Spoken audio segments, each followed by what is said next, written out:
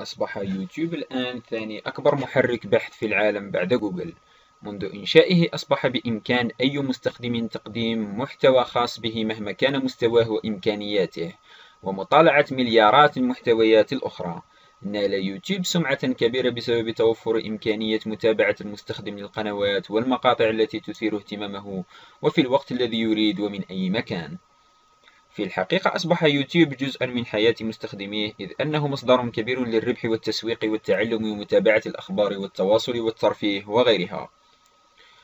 في هذا الفيديو سنعرض الكثير من المعلومات عن اليوتيوب. سنعرض أهم إحصائيات تلك المنصة الضخمة شاملة أهم الحقائق الديموغرافية والمالية وأشهر النجوم والمقاطع المرفوعة عليها. تم إنشاء اليوتيوب في فيفري 2005 أول فيديو تم رفعه على اليوتيوب كان لحديقة حيوان سان دييغو في الثالث والعشرون أبريل 2005 تم إنشاء يوتيوب على يد كل من ستيف تشان تشاد هيرلي جاويد كريم. المدير التنفيذي لموقع يوتيوب هو أو هي سوزان ووجسيكي يتجاوز عدد موظفي اليوتيوب ألفي موظف حول العالم. اشترت جوجل شركة يوتيوب سنة 2006 بمبلغ 1.65 مليار دولار. عدد مستخدمي اليوتيوب شهريا مليار و900 مليون مستخدم. يجذب يوتيوب أكثر من ثلث مستخدمي الإنترنت حول العالم. كل 60 ثانية يتم رفع أكثر من 400 ساعة مشاهدة عالية الجودة على اليوتيوب. عدد زواره حول العالم 30 مليون زائر يوميا.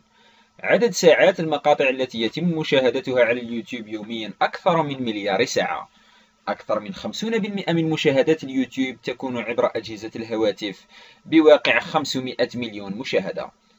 عدد صانعي المحتوى حتى الآن 50 مليون صانع محتوى. متوسط مدة الجلسة الواحدة لاستعمال اليوتيوب هو 40 دقيقة. عدد مقاطع الفيديو التي يتم مشاهدتها يوميا على اليوتيوب هي خمسة مليارات مقطع. أكبر قناة على اليوتيوب هي قناة بيوديباي بواقع 67 مليون مشترك. وأشهر شخصية هو نفس مالك هذه القناة بيوديباي. أعلى مقاطع يوتيوب مشاهدة هي أغنية ديسباسيتو بواقع 5.2 مليار مشاهدة. أرباح شركة يوتيوب التقديرية لسنة 2015 هي حوالي 9 مليارات دولار. تقدر أرباح أكثر نجوم اليوتيوب ربحا لسنة 2005 ب 12 مليون دولار.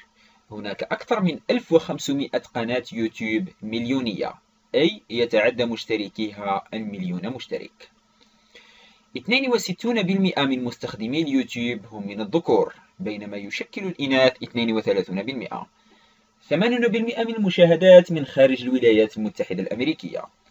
9% من المشاريع الناشئة تمتلك قنوات على اليوتيوب. الفئة العمرية أكثر من 35 عاما وأقل من 55 عاما هي من أسرع الفئات نموا على اليوتيوب. 75% من البالغين يفضلون المقاطع القديمة النوستالجيا كأكثر أكثر من المقاطع التعليمية والأحداث الحالية. أغلب جيل الألفية الجديدة يفضلون استخدام اليوتيوب عن مشاهدة التلفاز التقليدي. الفئة العمرية بين 18 و 34 عاما تشاهد اليوتيوب بشراهة أكثر من أي فئة عمرية أخرى. يخدم اليوتيوب 88 دولة بواقع 76 لغة. يتابع الذكور بشكل أساسي فيديوهات مباريات كرة القدم والألعاب الاستراتيجية. تتابع الإناث بشكل أساسي مقاطع التجميل والعناية الشخصية.